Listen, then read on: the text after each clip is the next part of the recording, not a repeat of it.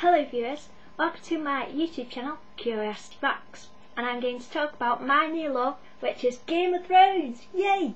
So, my Snuggle Bunny um, has already seen series 1 and is watching the TV series, but I don't have the particular channel that they broadcast the TV show on, so I don't really watch it. And then on Amazon Black Friday sales, they had the box set of Game of Thrones books. Thought, oh well, I'll get that just to see what it's like. And it was cheap as well.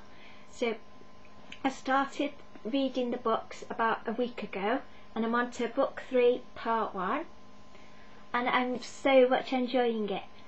Now, um, sort of medieval fantasy isn't really a genre that I'm particularly enamoured with because I, tend, I tend to get um, out because I tend to prefer magic realism where something magical and strange happens on the current day or on, on planet Earth in the current day kind of thing. So that's a kind, that's the kind of fantasy I prefer more because I tend to get a bit bored by um, old-fashioned fantasy. But with this, it's excellent because each chapter is a different character so that really helps me to keep track with uh, with the story and to like not zone out too much and to like keep within the world of the story. And it's all coming out in my head. So I don't actually want to watch any of the TV show until I've read all the books so far. I have uh, read that there's two books still to come. So I'm going to read all the books so far and then watch the TV show. But my favourite from reading I've got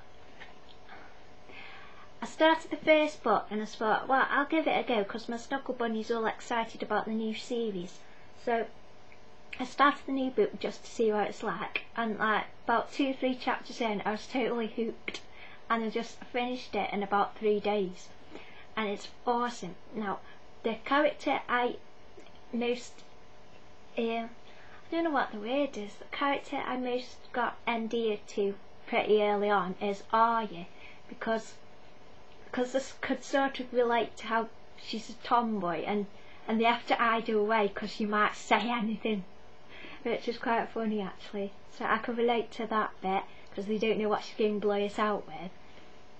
And like that bit in the pub where somebody one of the people or people in the pub said blah blah blah and she said no that's wrong no and she had to go outside because she's giving away the secrets and everything and I like how she has to have lots of different names and that's really fun and I've been I've seen some t-shirts on Qwertee which I have voted for which are Game of Thrones theme and I hope they get printed because I'll totally buy them because they're awesome so anyway uh, um, my Snuggle Bunny likes Tyrion uh, that's Tyrion Lannister and he is a very good character. I think all the characters in this book are really good and there's loads of depth to them and I really like the dragons. There is a lot of sex in the book but it, it doesn't like read very gratuitously, it sort of fits with the story really. So it's not just for gratuitous reasons. I've heard the TV show has quite a lot but in the story it kind of fits and I like even though I thought I was for a little part of me thought oh it'd be good if there wasn't and like it, it was realistic but I do quite like the dragons in it and all these scary things over the wall. And I like Sam too he's lovely. So I really like all the characters in this book because there's like really evil horrible characters and then there's the characters you really care for and when something happens to them you're like oh no. It's like and then you're like phew. So I want uh, the Big Fig part one and also what I like about it is each book instead of just carrying on the same time each book sort of has uh, a different tone to it now also the other uh, old-fashioned fantasy book that I have read is Lord of the Rings now I think this one's a lot better because with Lord of the Rings it got quite linear and it's quite like a single journey to put the ring in and get rid of it. So it's kind of quite linear and it does, I liked the films better than reading the book. I started reading the book after I saw the first film but it wasn't as good because it was linear and it, it's just got a bit dull. But with this, you get the maps in the front of each book.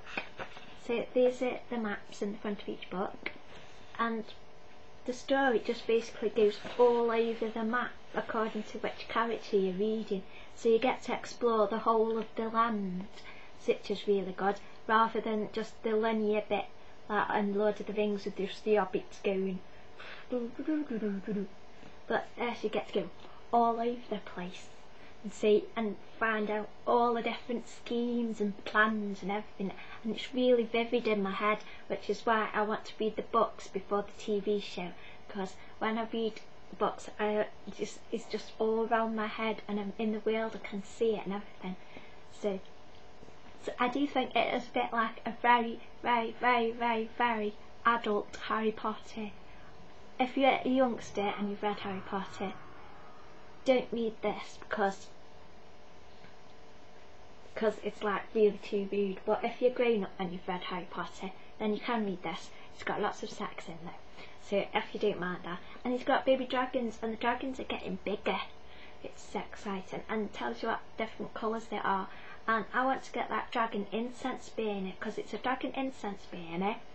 And when you put incense in, all the smoke comes out of his mouth and it's like way awesome but it's real tall though so I'd be scared I'd knock it off you can get baby dragon incense beers which are cute so you could get three of those and they could all have smoke without the mouth and it would be awesome but I also I sort of styled my although I had the bed cover I had a medieval type bed cover before I started reading Game of Thrones but I sort of tidied up my bedroom a bit and styling it like Game of Thrones and sorted out jewellery jewellery and kept particular Game of Thrones style pieces.